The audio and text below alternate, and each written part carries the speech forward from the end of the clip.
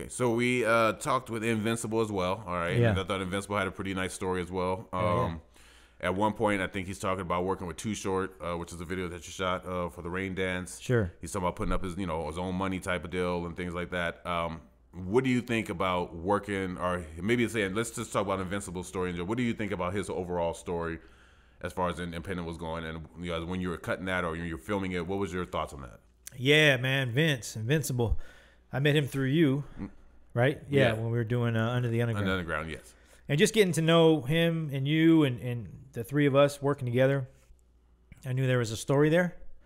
Um, I figured because I think the first one I did was so loaded, which I wasn't going to do at first Okay. Oh, yeah. because I didn't think I could uh, have it. I don't think I had anything for it, but ended up doing that. And then with Rain Dance, um, I felt that for Invinceable, he just like the interview said, he he's proud of where he's at. He he's put in a lot of work. It may not have done what he wanted it to do, Right, right. but it's there. Like I always tell him when we have these talks that you have a song with Too Short, nobody can ever Yeah, Take that away. Right, right, ever. right. You know what I mean? So you should be proud of that. You know, you should be proud of of So Loaded and everything else you've done before we've even met. John B.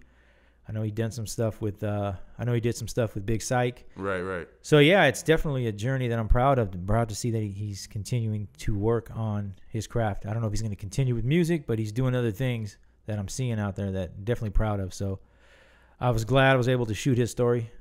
All right. Well, we want to appreciate everybody for uh, taking the time on there, like doing a little deep dive on the behind the scenes of getting this created.